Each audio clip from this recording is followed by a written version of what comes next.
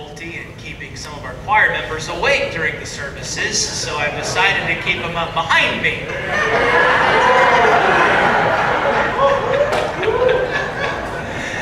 now the rest of you better watch out too. Or you'll be in the corner as well. You see these flowers that are here up on the platform. Uh, they are in memory of Richard McCarthy. We had his uh, memorial service yesterday at McKee Funeral Home here in North Port.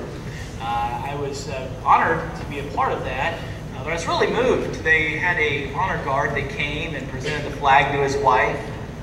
I'd never seen them do this ceremony the way that they conducted it yesterday, and I know that those who are there would tell you the same thing. And, and there's just something missing a lot of times, seems, in our society as far as an honor and a respect uh, for authority, for those who sacrifice, for our country, for our flag. And just the way that they conducted themselves was really moving. And uh, all I can say is I hope that we will show that same honor and respect uh, for this fine uh, government and country that God has given us, particularly in the Constitution that's been handed down. I wanted to ask you to hold your place in Philippians chapter 2 this morning and turn with me, if you would, to the book of Judges. Judges chapter 21. In light of some recent circumstances, I wanted to speak to those to a certain extent here this morning, some of the current events and issues in our day. And I want to use that to just kind of springboard into, I guess you'd say, some rubber meets the road teaching this morning. Really got a simple truth for us. The simple truth is this there is a king. There is a king. Judges chapter 21 and verse 25, we read these words In those days there was no king in Israel, and every man did that which was right in his own eyes. Every man did that which was right in his own eyes. But today, there is a king. And because there's a king, we must not do what's right in our eyes. We need to do what's right in his eyes. Let's begin with a word of prayer we enter into these thoughts this morning. Our Father, we come to you today. Lord, we thank you, Lord, for all that you've given to us. You have been so good. Good to us, most of all, through Jesus. Lord, what we have in him. And, and Lord, this is just the beginning in this life. All your promises, so many yet to be fulfilled as we enter into our eternal destiny. And Lord, we thank you for that. Lord, there may be some present with us today who don't know Jesus as Savior. They don't know His forgiveness, peace, the purpose that He brings. Lord, I pray that today you draw them to yourself. But Father, for us who know you, there is a King. He has a place in our lives. First place. Lord, I ask that you'd move in our hearts in these moments, that we would give you first place at this time, and Lord, that our lives would be lived, consecrated to you. Lord, bless this time. Fill me with the Holy Spirit. And Lord, move in each of our hearts, I pray. Jesus' name, amen. When we talk about the current events, I'm sure that there are some things that come to your mind. I wanted to speak to this briefly. Just over a week ago, our state began to perform and recognize homosexual marriage. This, again, the result, as has often been the case, of activist judges. When you consider in our Constitution and our government's beginnings, it said that this United States would be a government of the people, by the people, and for the people. And those people passed a law saying that marriage would be between one man and one woman. How therefore can it be unconstitutional to have such a law? There is something unconstitutional at work here, and it's the judge. Nevertheless, Job has said this, and he said it of God in Job 12 and verse 17 God leads the counselors away spoiled, and he makes the judges fools. It's not too far distant if this judge does not repent. He'll give a fearsome account of this before God. But there's also this reality. If the judge had not ruled in this way, I suppose it would have been just a matter of maybe five or ten years that the people would have voted this confusion called gay marriage into law. Society as a whole has been sanctioning and normalizing and commending what God calls sin. Of course, this goes hand in hand with Christians being scolded, labeled extreme, and condemned for opposing. While we as a society are welcoming the homosexuals out of the closet, the Bible believers are being pushed into the closet. Amen. You may have seen just this week the fire chief in Atlanta, right in the midst of the Bible Belt, was removed from his position. Why? Because he dared to write a Bible study book in which he devoted just one page to discuss sexual perversion, amongst which he lists homosexuality. Because of that, he was removed from his post. It was ironic in the fact that the city of Atlanta reasoned that he could not remain in his position because they want to promote diversity. Interesting to me, I would define that as tyranny. That's right, amen. To be truly diverse would be to embrace that position as well. All of this, biblically stated, is an abomination to God. Amen. He hates the practice. He condemns it in no uncertain terms. He calls such a lifestyle strange unseemly, and the product of a reprobate mind. Nothing that society can do or say will ever change that. Now, some would say, in making such a statement, and I've been called this before, that it's hate speech and I'm a homophobe. Well, there's a few things I would say to that. First of all, it becomes necessary for those who have no ability to effectively debate, debate a matter to resort to name calling. Amen. Their arguments for the acceptance of that lifestyle cannot stand on their own merits, so they seek to demean the character of those that oppose them. Second, I would say this I do have a fear. It's a fear of God. I cannot accept their sin because God has promised to judge that sin and those who partner in it. In fact, it is commanded of God that I must oppose it.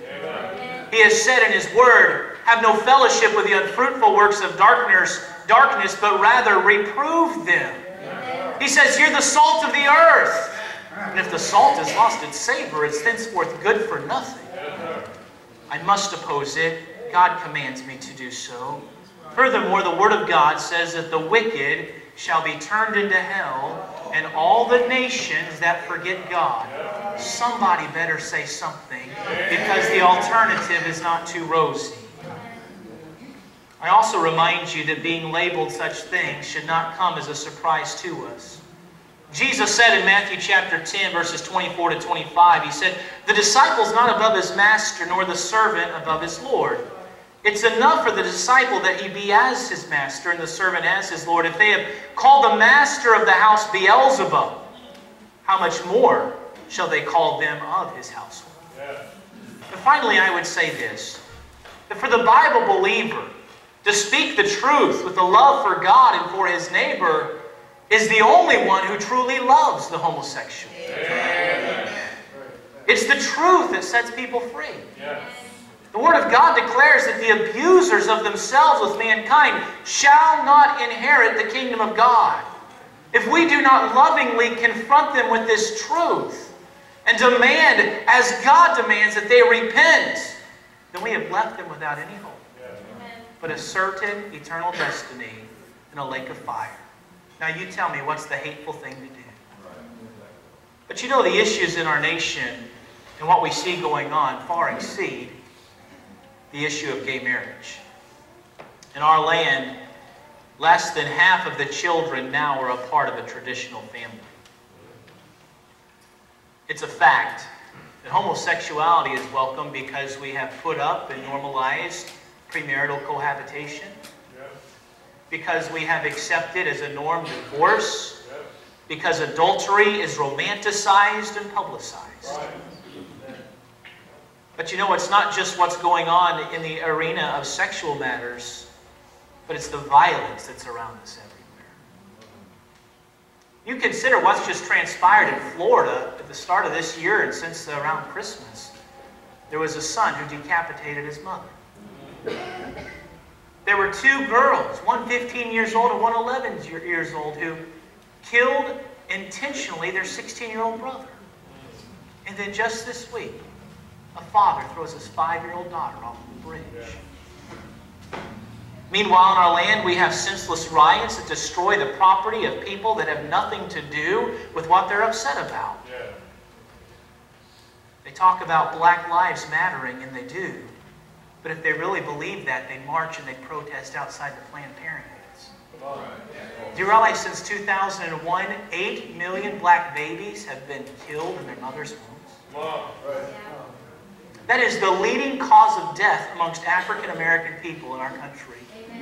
More than the other 10 leading causes put together. 8 million in just the last 14 years. Our land, drugs are legal, pornography is protected, alcohol's on every corner, gambling continues to increase. But the Bible, the truth that sets men free,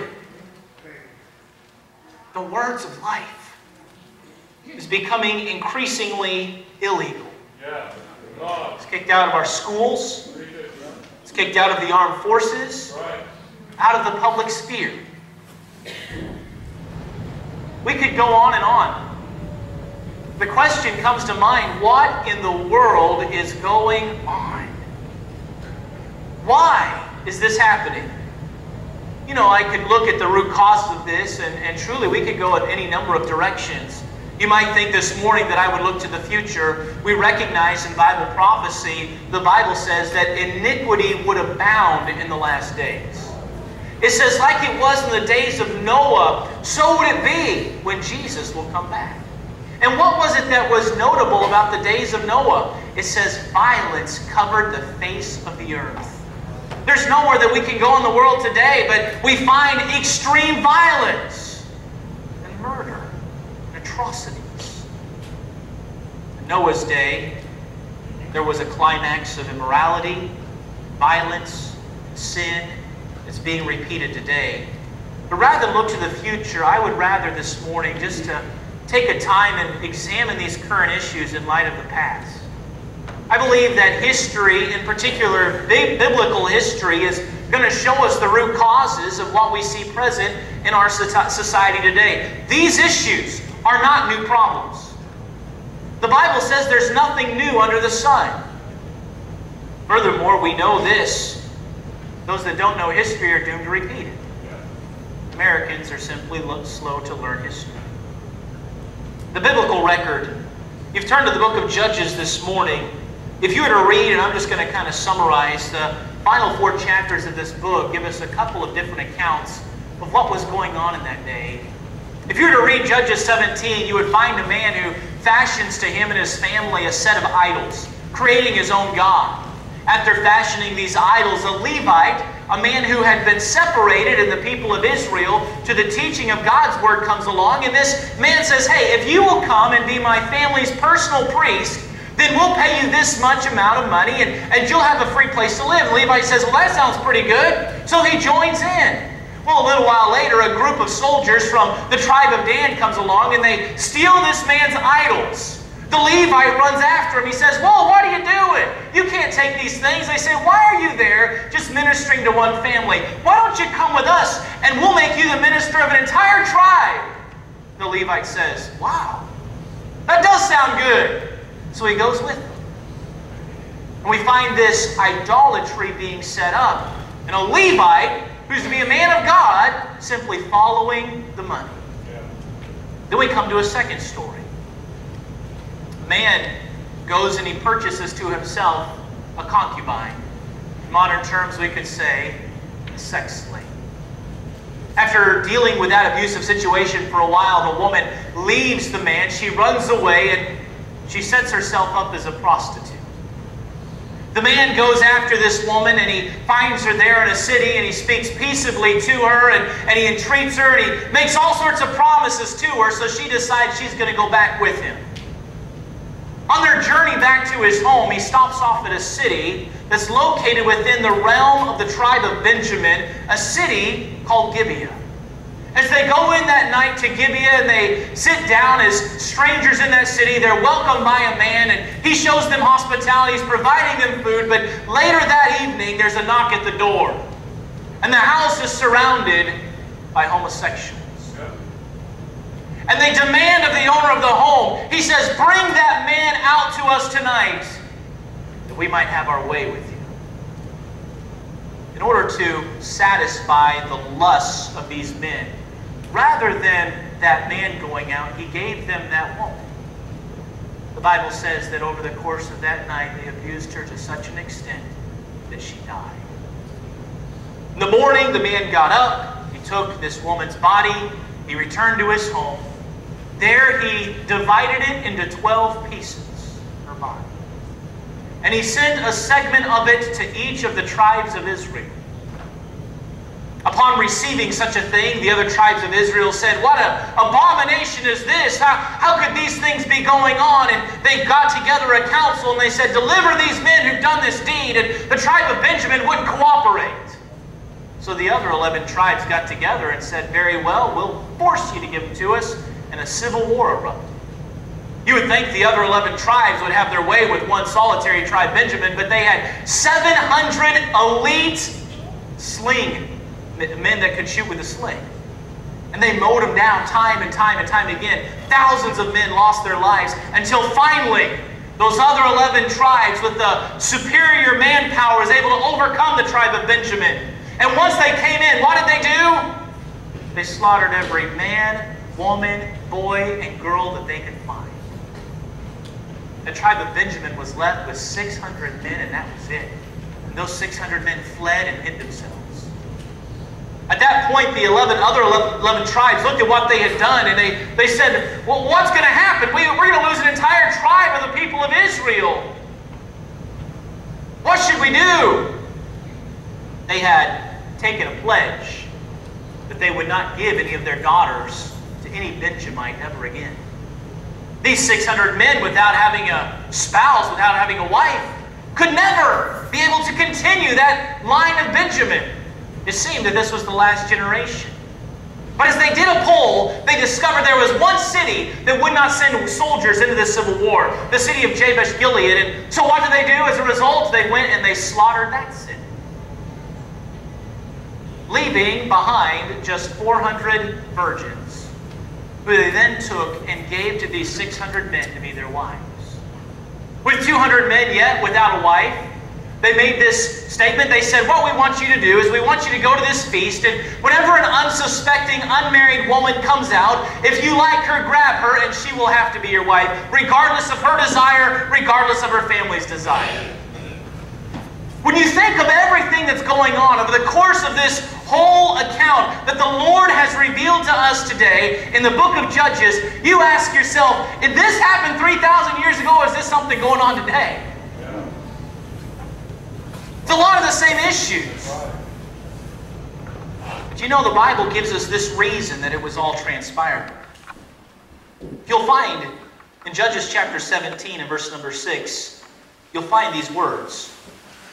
It says there, In those days there was no king in Israel, but every man did that which was right in his own eyes. In Judges chapter 18 and verse number 1, you'll find these words. In those days, there was no king in Israel. In Judges chapter 19 and verse number 1, you will find these words. It came to pass in those days when there was no king in Israel. Again, in Judges chapter 21 and verse 25, you find these words. In those days, there was no king in Israel. Every man did that which was right in his own eyes. Do you think that the writer of the Holy Scriptures is trying to impress a point upon us today? When they removed the king, when they removed that authority, when they had no one there with an objective standard of right and wrong, no absolute truth, no one that they feared, they simply did what they felt like doing. Without the authority to uphold God's truth in that theocracy, man simply did what seemed good to him. And what we see in the book of Judges is a byproduct of that. And it's the same thing in our society today. The king has been removed. And man is simply doing what seems right in his own eyes. I'll remind you of a simple truth. The book of Proverbs, it says, There's a way that seems right unto a man, but the end thereof is the ways of death. Genesis 3, we find Adam and Eve in the garden. Do you know it's the same temptation? Satan comes to Eve, he removes the authority. He told Eve that if she ate of that fruit, she would be a God. He offered to her the possibility of choosing herself what is good and evil. And mingled with those promises was this that there would be no consequence for her actions. And the devil thereby convinced Eve, and she fell into sin as well as her husband Adam. It's the same lie, it's the same truth that we see in the book of Judges.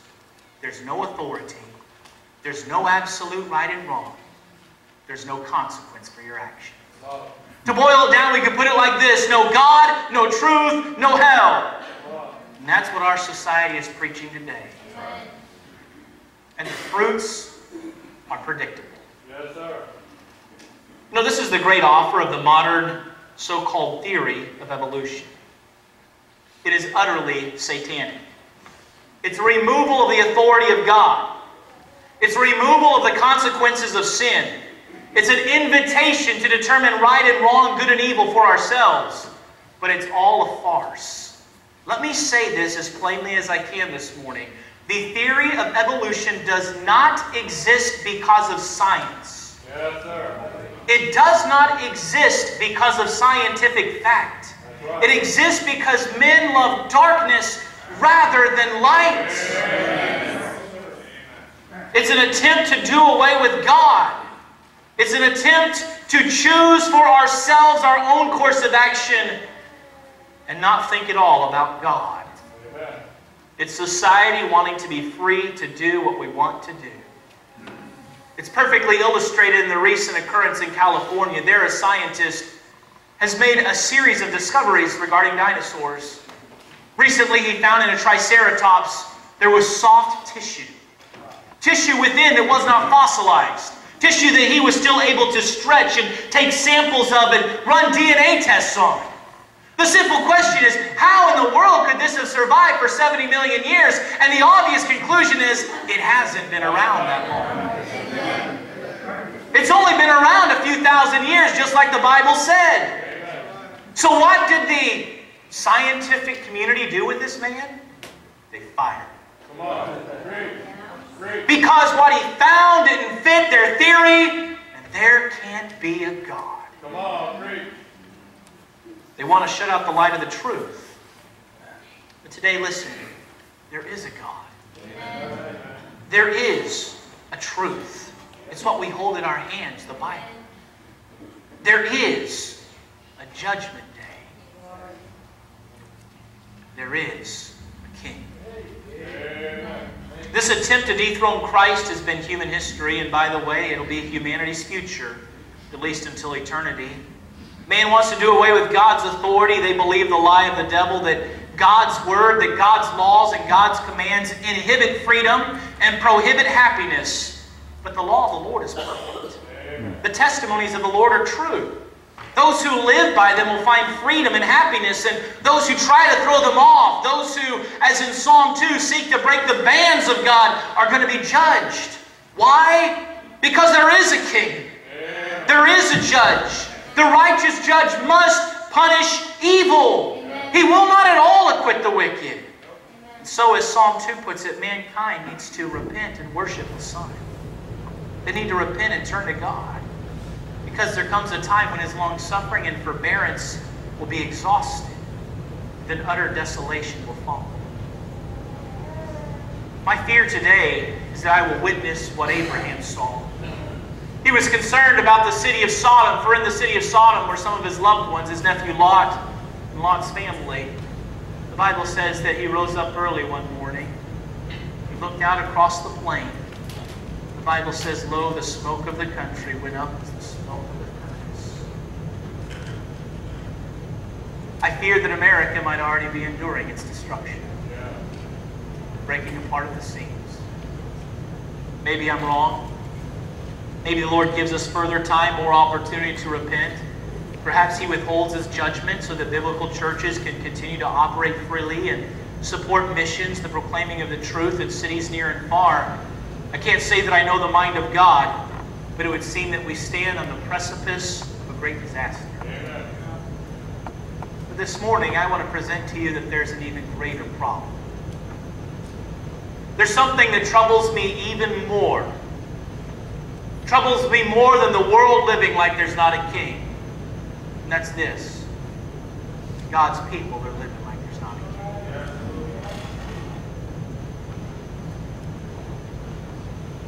God's people have begun to govern their lives in the same manner. Their guiding light has become what seems good to them. So we look into the book of Judges, we find it wasn't just that nation as a whole, but it was God's people. In fact, if your Bible's open in the book of Judges, you'll find in Judges chapter 14, you'll find one of the judges himself, Samson, a man with supernatural strength, used of God, and yet his life turning aside. Why? Because the simple truth. He did that which was right in his own eyes. He did what he wanted to do rather than what God wanted for him.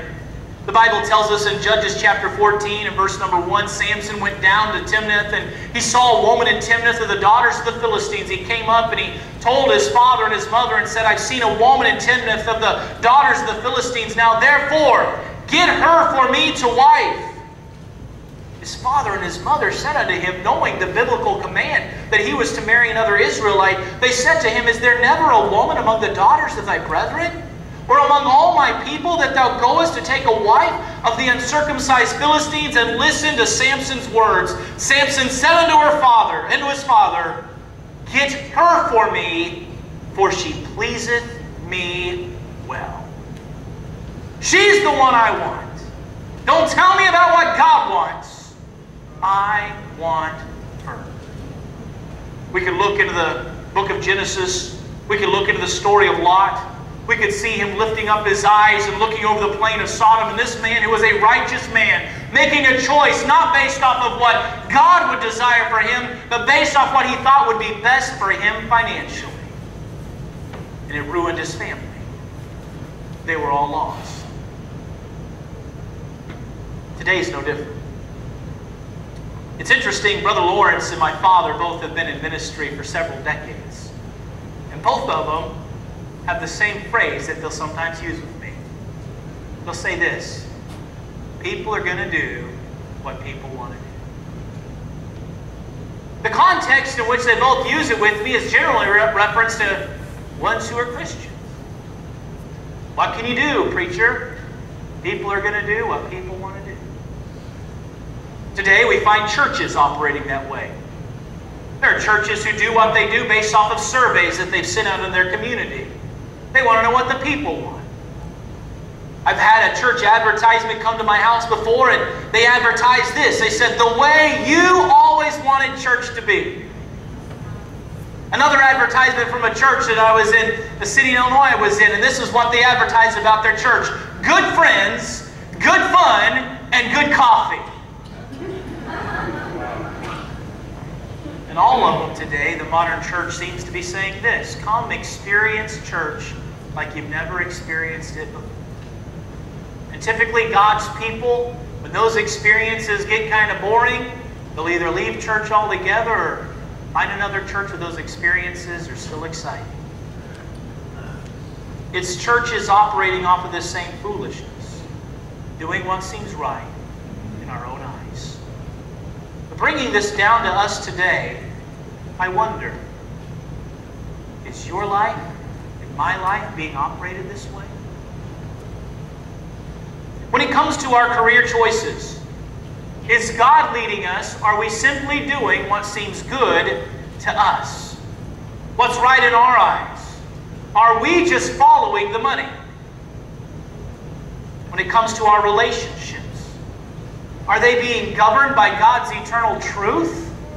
Or do we operate them by what seems right in our own eyes? What about in a husband and wife relationship? By the way, I'll put a little plug in here. We had a great Sunday school today. Message on seven keys to unlocking doors of communication in marriage. It would be great for everyone to hear this out. It was moving, it was very practical.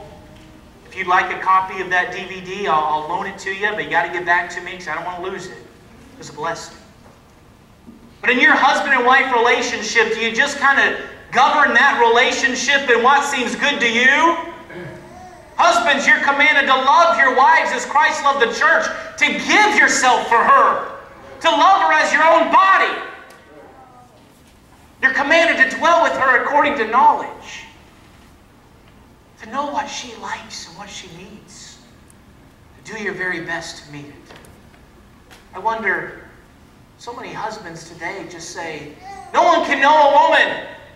And they give up trying. It's not right. That's governing your relationship as you see fit. That's not what God would have you to do. Wives, today, I know the feminist movement recoils at such a thought, but God says, Wives, submit yourselves to your husband. I know that many would say, But you don't know what my husband's done to me. That's you governing your relationship as you see fit. God has a standard, God has a truth. And God longs to bless your relationship. God doesn't want what our society is offering. God wants to give you something wholesome, something good, something that will meet and complete your life. But He's not going to give it when we abandon His ways. When it comes to our relationship as a parent to a child, how do we govern those relationships? The way that we discipline our children, the way that we try to train them up. Is it the way that we see fit? Or the way society would have us to do it? Or is it what God said? Folks, there's a king. We need to do what's right in his eyes. Talking about dating relationships, working and workplace relationships. Do you badmouth the boss like everybody else? That's not God's way.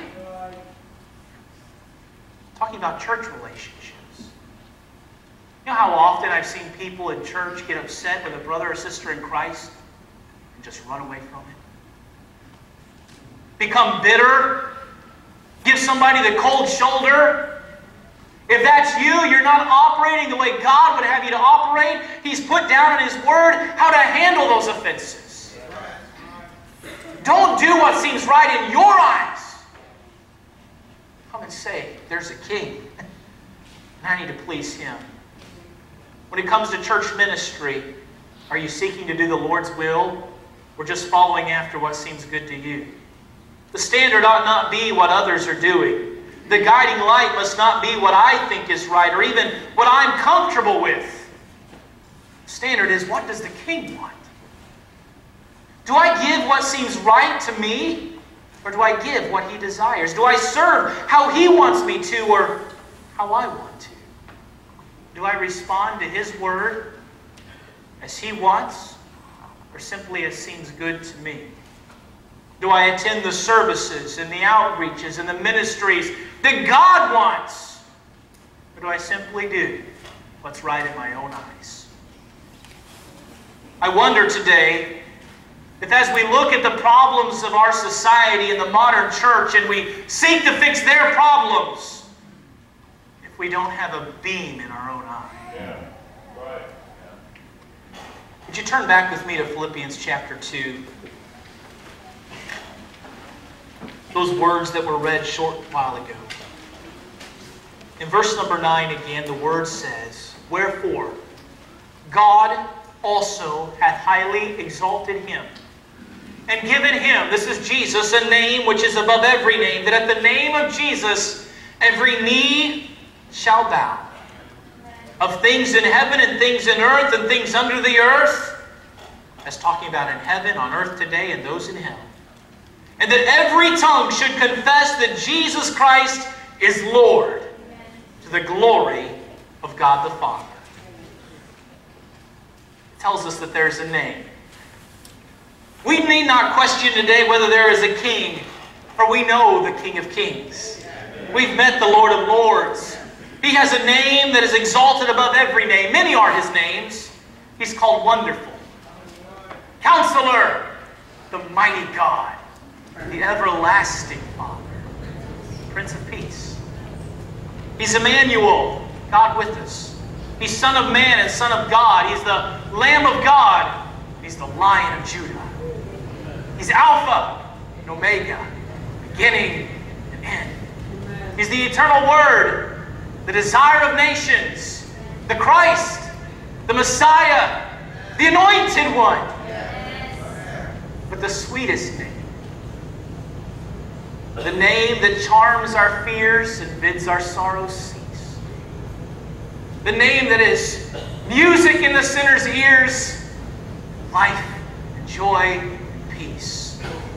It's that highly exalted name. It's Jesus. Jesus, that blessed name. There's no other name given among men whereby we must be saved. In His name we gather, and He's in the midst. In His name we have access to the Father in prayer. In fact, we're told that whatsoever we do in word or deed, do all in the name of Jesus.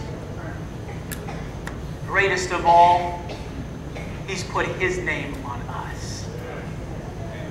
He says, You are mine. It's therefore not merely our duty, but it is our great delight. So as this verse says, to bow the knee, to loose our tongue, and to declare He is Lord. He's Lord of lords. He's Lord of all. And most significantly, He's Lord of me. Practically speaking, then, we live knowing there is a king in our life. And we must do what is right in his eyes. Jesus asked, Why call ye me Lord, Lord, and do not the things that I say? It's his opinion that matters. It's his pleasure we must seek, his glory that we must live for, his command that we must obey. We all saw this week the massacre in Paris. I remember, reading the words of one of those cartoonists. He said this He said, I'd rather die standing than live kneeling. And when it comes to Islam, I wholeheartedly agree. When it comes to Jesus, better live kneeling or you'll die standing. You see, there's a price to pay for pride and rebellion. It goes before destruction, the Bible declares. Society is reeling like a drunkard, stupefied by the intoxic- intoxicating effects of pride and lust. Each step takes it closer to the cliff. Likewise, countless lives and relationships, even many churches, are daily plunging to their demise because of their reluctance and refusal to bow, to kneel before their King. Don't permit your life to be governed by what is right in your eyes. You're serving the wrong king if you do. Rather, let your life be lived with your heart on its knees before the Lord. Let us live out the prayer of, Thy kingdom come, Thy will be done on earth as it is in heaven. May we say with Samuel, that great leader of Israel, Speak, Lord, for thy servant hears. May our words be that of Isaiah's, Here am I, send me. As Saul on the road to Damascus, kneeling beside the road as he met Jesus, may our hearts shout out, Lord, what will you have me to do? Maybe some of us today who know that we're in defiance of the will of God. You know what God has said in some matter. The finger of the Holy Spirit has shown you your error, but you refuse to submit, to bow before the King. Others here perhaps have simply been carried away with life, with its busyness and its cares. It's not that they have intentionally set out to do their own will, but, but that's where they're at. Whether intentionally or not, the obvious need is clear. Bow the knee. Humble yourself before the King. Confess your ways. Seek His grace to change. There is a King. There is a King. There was a chill in the air as dawn began to break on the horizon. The morning dew still heavy on the garden, the courtyard of the Roman governor. It was no typical morning. In fact, it had been a long night the preceding evening. and the early hours of the morning, they'd been up all night. A buzz was in the air. A trial was yet unfinished, though the outcome was certain. As the sun began to rise, the crowds that had gathered began to stir. They would have their way. Their will would not be thwarted. Their thirst for blood must be satiated. There was just one final vote that needed to be cast. Suddenly, everyone's attention in that crowd was drawn to center stage as it was announced that the governor approached. As he stood before the multitude, he was not alone. There beside him was the accused. His face was swollen and bleeding. It was the result of the fist that had pummeled his face, of hands that had torn out his beard by the roots. Yes, that morning there stood Pilate, the Roman governor, and beside him Jesus Christ. As Pilate stood before the people, he met them with a declaration. His words still ring down through the centuries, as does the response of the Jewish crowd that had gathered that day. As he stood before them and presented Jesus to them, he exclaimed, Behold, your king. Alas, woe for the suffering that has followed the Jewish multitudes as a consequence to their response that day. Upon hearing those words and being given one last opportunity to receive Jesus as their king, those infamous words were instead spoken We have no king but Caesar. With that, door of opportunity slammed shut. Jewish nation, the destruction of their temple, the dispersion of their people, sealed in blood. But we know the rest of the story. They crucified the king. But the king could not be defeated. He rose again. He lives today. And he stands before us this morning. And the word of God says, Behold, your king. How do you respond? Does your life say, not right now? Right now I can have no king. I, I must carry out my will. Will you from the heart bow your knee? Confess with your mouth. You're Lord of all. You're Lord of lords. And you're Lord There is a king. I want you to understand today that this same king can also be your Savior. If you're here this morning and you have never been born again, then you're not part of his kingdom. You must be born into it. Not by physical birth, but by spiritual birth. if you will believe his promise, not asking you today to believe me, but to believe his promise, for it was he who said, God so loved the world that he gave his only begotten Son.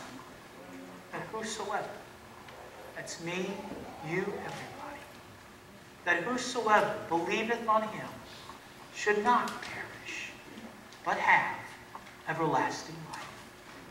If you will believe his promise, respond to it today, you'll save your soul now and forever. You'll enter into his kingdom. You'll know the greatest king, one full of mercy and compassion, who governs in grace and in true righteousness and justice. He will be your king. Do you know him today? For the rest of us who do, are we governing our lives as though there is a king? Are we doing what's right in our own eyes? I wonder today, what's the Lord speaking to you about? Let's pray. Father, we come to you. Thank you for your word. We rejoice. There is a King. Lord, what a privilege to know him. Lord, the one who calms our fears, who causes our sorrows to cease, who brought a new song to our heart,